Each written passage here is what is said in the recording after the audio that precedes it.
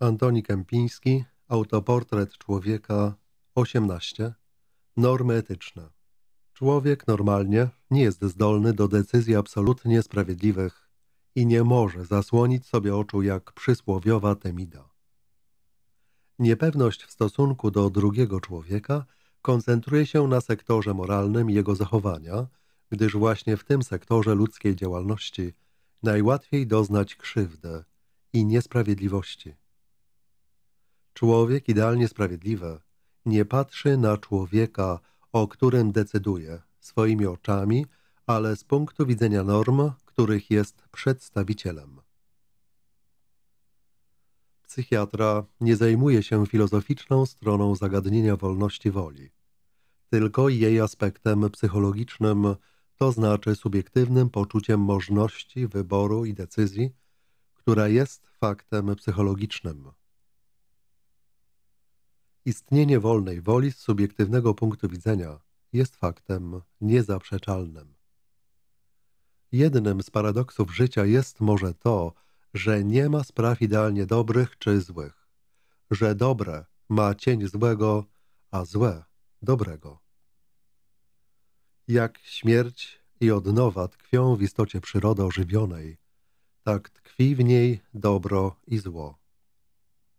Człowiek na ogół zawsze znajduje racje tłumaczące jego złe skłonności, a nierzadko potrafi je na dobre w swoich oczach przemienić. System kary i nagrody opiera się na koncepcji odpowiedzialności. Zależnie od aprobaty środowiska społecznego ten sam czyn może być raz karany więzieniem, a innym razem nagradzany.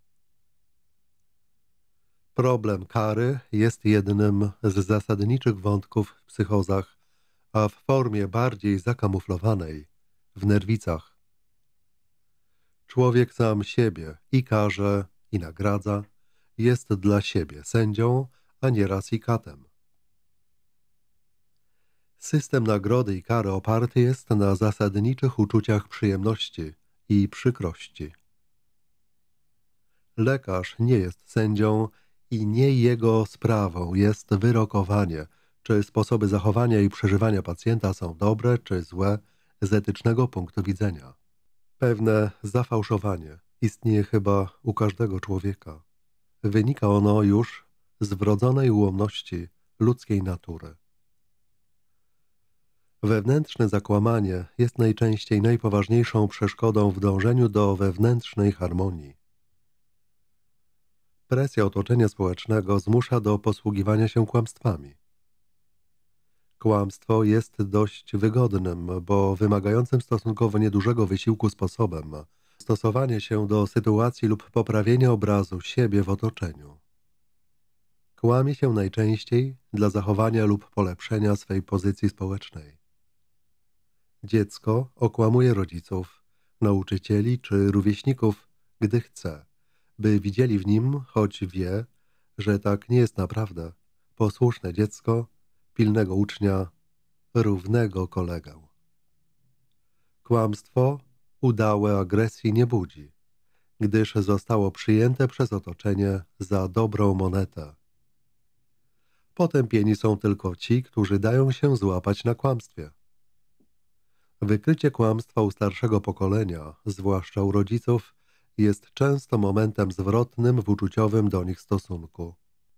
Chory nie potrzebuje kłamstwa, by bronić się przed naporem rzeczywistości. Chory na schizofrenię nie kłamie.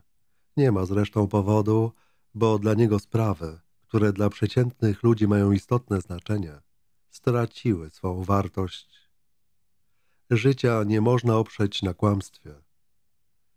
Granica między teatrem a prawdą jest często nieuchwytna, ale właśnie pomieszanie tych dwóch elementów stanowi o uroku życia. Prawda o sobie nie pomaga wówczas, gdy nie jest prawdziwa. Histeryk boi się prawdy i nieraz rozpaczliwie się przed nią broni. Prawda histeryka nie odbiega tak bardzo od prawdy otoczenia, jak prawda paranoika. W czasie wybuchu psychozy chory ma wrażenie, że odsłoniła mu się prawda o nim samym i o otaczającym świecie. Wybuch psychozy można by traktować jako gwałtowne wypowiedzenie prawdy. W tematyce świata schizofrenicznego wyraźnie zaznacza się dążenie do prawdy. Najwyższy system samokontroli odczuwany przez człowieka jako sumienie, dzięki któremu odróżniamy dobro od zła, mieści się w istocie przyrody ożywionej. Sumienie jest najczulszą częścią autoportretu. Gdybyśmy rachowali własne myśli jak czyny, nie byłoby chyba człowieka, który by nie miał przynajmniej tuzina swoich bliźnich na sumieniu. Nasze sumienie nie jest jednolitą całością, ma ono charakter wyraźnie dynamiczny. Składa się z różnorakich elementów, działających nieraz antagonistycznie. Ostateczna ocena jest wypadkową tych różnych sił samokontroli działających zarówno powyżej, jak i poniżej progu świadomości. Występująca w wielu systemach religijnych wiara w sąd ostateczny i w boską sprawiedliwość może być wyrazem wyolbrzymiania i niepoznawalności nieświadomej części sumienia. U człowieka najwyższy poziom integracyjny odczuwany jest jako głos sumienia.